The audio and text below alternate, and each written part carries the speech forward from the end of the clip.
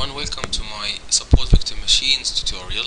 Uh, in this video and the coming few videos I will be explaining the idea and the uh, intuition behind support vector machines.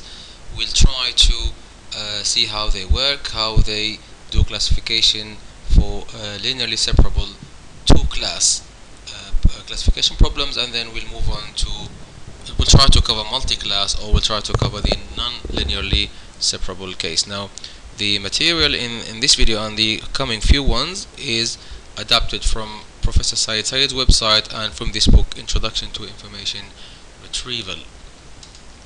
Now an overview rather a very quick one of uh, support vector machines. So SVM stands for support vector machines as you can guess. They perform classification by finding the hyperplane that maximizes the margin between the two classes.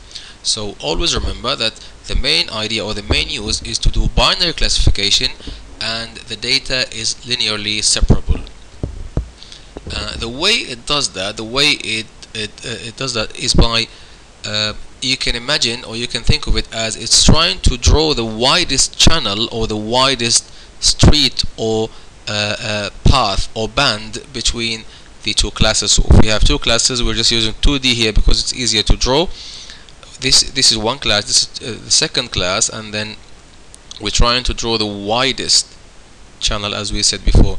And usually the classes are positive one for one class or positive examples and minus one for the negative examples unlike where, uh, when we learned about the perceptron before. And by the way here support vector machines they're trying to find the best line or the best plane or hyperplane that separates the data. Not any line. We learned in perceptron or LDA they find a line, any line that separates the data. Whereas for support vector machines, they find the best line, the line that separates the data the best, so the furthest from all the classes, right in the middle between the two classes. Now, remember in my, in my videos now, um, if we have two, if in 2D we're seeking a line that separates the data. In 3D we're seeking a plane or a surface that separates the data, and if it's more than 3D, then it becomes a hyperplane. I will be using these three interchangeably. So uh, the reason is that whatever we can do in 2D, we have very smart mathematicians, and whatever we do in 2D, we should be able to do it in 3D or more dimensions. And we just focus on two dimensions because it's easy to draw as you saw here. So that's 2D data, two classes, and then we can uh, draw it and visualize it. Now the intuition behind supported vector machines is as follows we can uh, uh, consider points or instances in our training data as vectors. So every point becomes a vector of the input variables of the features. Now what it, what support vector machines do, they find the two closest points from the two classes. If you look at the diagram here, the two closest points from the two classes uh, and these points are said to support or define the best separating plane or hyperplane or line. So the, this is why it's called support vector machines because those, those closest points they support or define the uh, separating line or plane as we mentioned before. After that, support vector machines they draw a line connecting those two points. So the orange line in the figure here. So we find the two closest points. We draw a line between between those two points, and then uh, it decides that the best separating line is the line that bisects and is perpendicular to the connecting line. If we go back, the best separating line now is the line that bisects this orange line, i.e. it goes through the middle point of that line and it's perpendicular to it. So the angle there is 90. That's the best separating line. The same applies for a plane, a surface or a hyperplane. Now the process requires some basic knowledge of vectors and vector algebra. Let's try to remind ourselves some information about vectors. Now as we mentioned before, each point can be considered as a vector of the form P equals it's a vector of the input variables or the features. Now the data set becomes pairs of vectors and classes. So each point, you know, x1 in our data, x1, x2 until xn, any point xi, it becomes a vector now, and y, yi, the uh, corresponding class uh, is either minus 1 or plus 1 as we mentioned before. So data now is pairs of vectors and classes.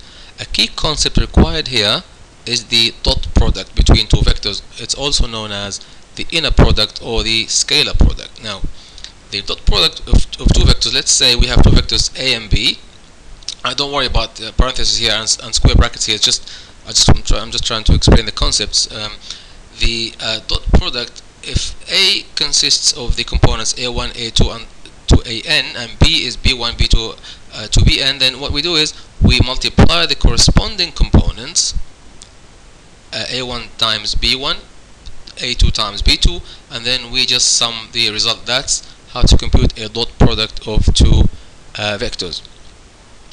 Now, again, remember that for vectors, each non-zero vector has a corresponding unit vector. So from a vector, from a non-zero vector, we can have another vector called the unit vector. It has the same direction as that vector, but a magnitude of 1. Uh, remember that, and also remember that we can actually compute the distance between uh, a point and a plane. So we can compute the distance of a point to a plane. That's very important and very essential now in support vector machines. And the shortest distance between a point and a hyperplane or a plane is perpendicular to the plane. So the shorter distance between this point and the plane is perpendicular, i.e. the angle there should be zero. Remember we said we can say we can use a line because it's 2D just for uh, us to be able to draw it. Now support vector machines more formally, um, we're going to claim that we can define a separating hyperplane or a decision hyperplane in terms of an intercept term b and a normal vector w. That vector w is, is perpendicular to that hyperplane and it's normally uh, referred to as the weight vector. So we want a plane, we can define it, but in terms of intercept b and the weight vector w. Now because if we go back now, so if that's our hyperplane, then we have we'll have a vector w that's perpendicular to that plane, and the intercept now, as we learned before, it helps us um, uh, it helps us move the plane to the left or to the right. And the weights, as you will see, or as you must have guessed by now, they control the slope of that plane. Uh, to choose amongst all the hyperplanes that are perpendicular to the normal vector, we specify the intercept term b. So that's why, you know, a hyperplane can be there or it can be there, and the say it's all, uh, and both of them can be perpendicular to the weight vector w. But the intercept helps us move the plane from left to right or from right to left until we place it where uh, it best separates the data. So the intercept term here is, is quite important and you will notice that we don't actually add it to the weight vector to do the summation as we did in perceptron. No, we keep it separate because it makes calculations much easier. Now all the points on the hyperplane satisfy this equation W transpose T times X equals minus B. Now this is again inner product um, and the idea is that any point on the plane here will satisfy this equation that W transpose T that's the vector of weight or the weight vector times x x again here is a vector equals minus b or we can say W transpose T times x plus b equals 0 that's the equation of the plane. And we mentioned that the hyperplane is perpendicular to the normal vector and we represent the training data set now as we mentioned before as pairs of vectors a vector and a class uh, and a class. So d equals xi uh, comma uh, yi xi is a vector as a pair of a point and a class label corresponding to it. And we mentioned the class label is either minus 1 or plus 1 now the linear classifier becomes f of x equals the sign of w transpose t times x plus b and the idea here is that whenever we have a a point, we plug it in the equation. So we have the weight vector, we have the intercept, and we have a new point x. We plug it in there, we find the dot product, and then we add the value of the intercept. If the value is positive, then the point belongs to uh, the positive class. If it's negative, then it belongs to the negative class. That's where we have the sign. We're looking for the sign of the result of plugging a point into this equation. So, uh, to make things much clearer now, the equation, that's the weight vector perpendicular to our separating plane, and the equation becomes W transpose T times X plus P equals Y. Remember that's a dot product. I keep saying times, but that's dot product. Now for the positive class, uh, Wx plus b equals 1 or more, it'll be a positive value. For the negative class, uh, Wx plus b equals minus 1 or less. So for the support vectors the value here will be plus 1 the value here will be minus 1 but for any other vectors of, of this class it'll be more than plus 1 if any other vector on from this class will be less than minus uh, 1 now I'm going to stop here. Thanks very much for watching. In the next video I'll try to explain things further.